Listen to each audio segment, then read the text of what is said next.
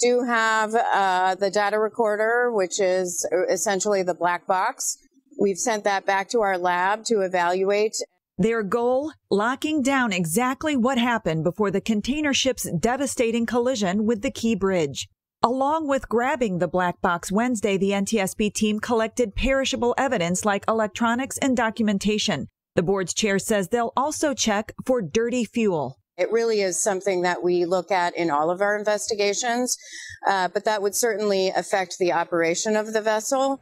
The design of the bridge itself also under close examination after photos circulated showing the possible absence of fenders on support pillars. I've seen the pictures. Uh, again, we'll want to uh, look at uh, everything that the uh, on the structure of the bridge.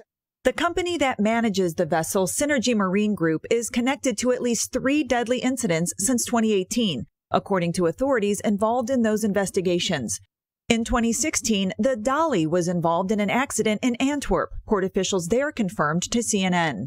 Now, the safety records of both the ship and Synergy will be central to the Baltimore investigation. It may very well turn out that the, that the ship owners are are liable. If any private party is responsible, then they will be held accountable.